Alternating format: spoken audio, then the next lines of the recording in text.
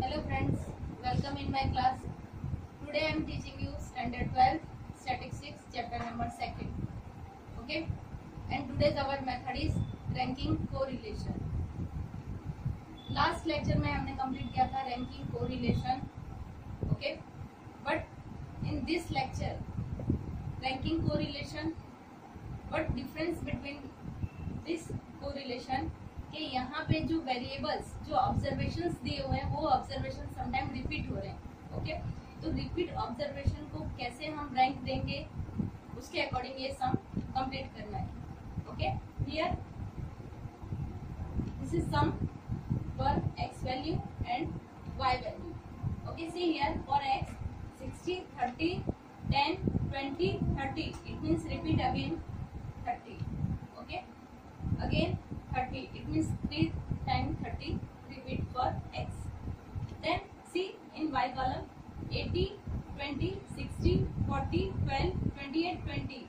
Again repeat 20. 20 repeat in 2 times.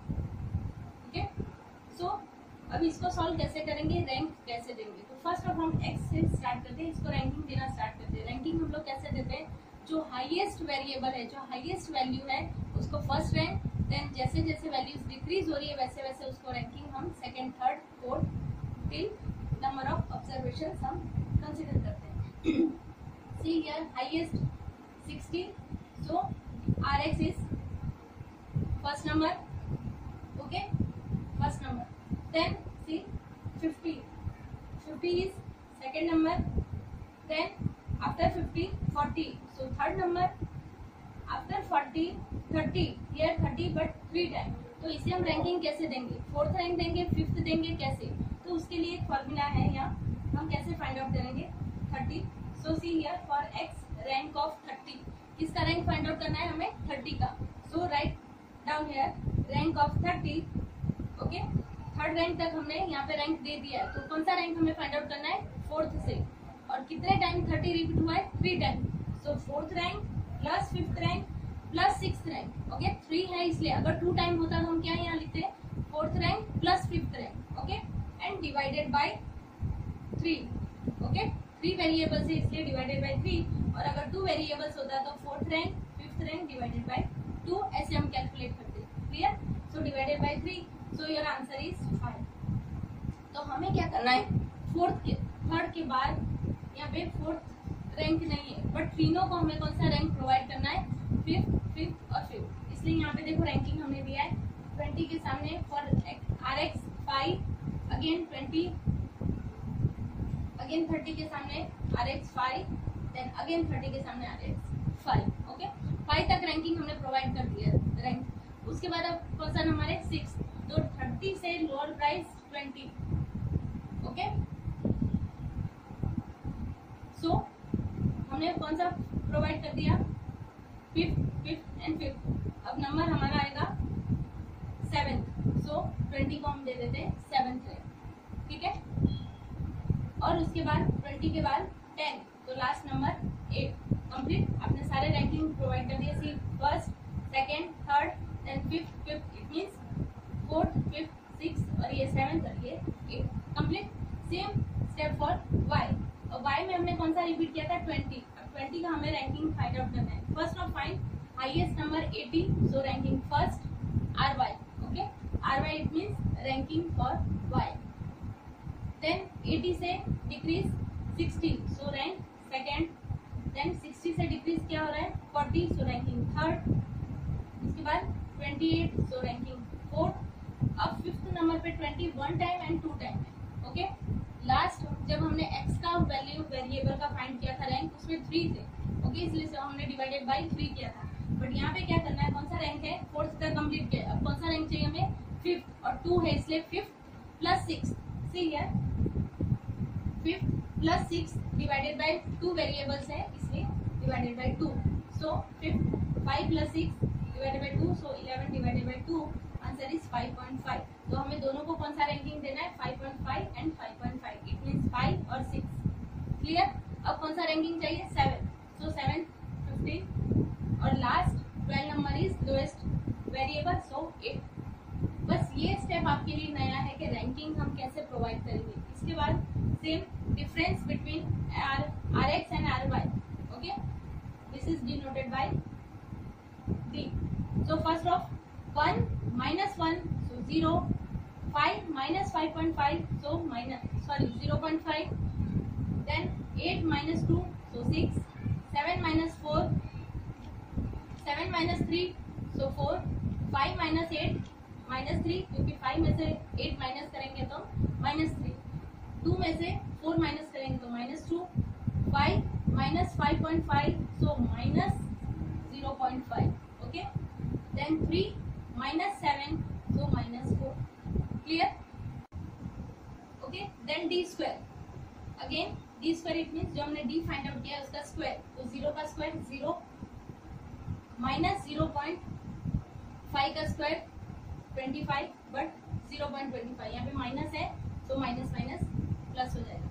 Then six का square thirty six four four जा sixteen three three जा nine but plus nine two two जा four zero point five का zero point two five then four four जा sixteen okay your total is this is sigma T square eighty one point five okay यहाँ तक complete है। But अब इस step में क्या करना है आपको? C F okay C F it means correction factors उस मेथड से आपको ये फॉलो करना है। तो उस मेथड के लिए फ़र्स्ट ऑफ़ आपको सी एफ़ फाइंड जो सी एफ़ हम फाइंड आउट करते हैं उसका आपको यहाँ पे टेबल ये टेबल है उसका फॉर्मेट है वो आपको प्रिपेयर करना है।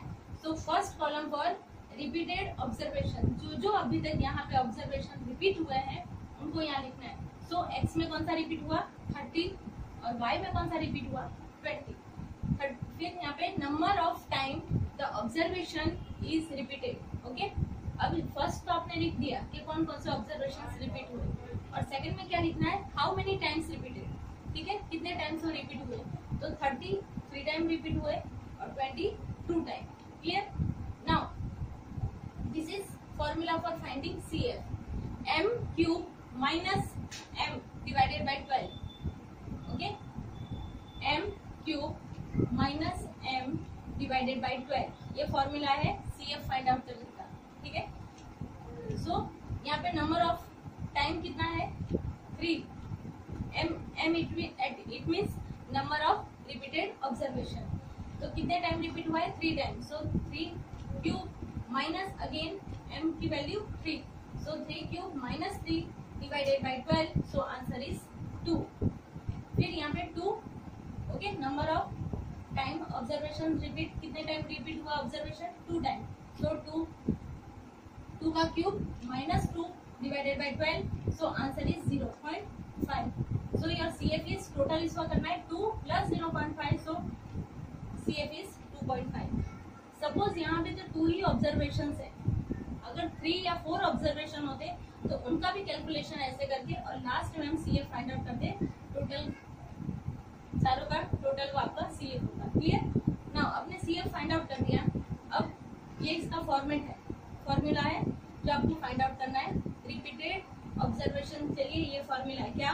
One minus six sigma D square plus C F upon N bracket N square minus one okay last हमने जो किया था, उसमें सिक्स सिग्मा डी स्क्वायर और अपॉन में N N square minus one ये फॉर्मूला था। इसमें सी एफ़ आपको सिर्फ़ ऐड करना है।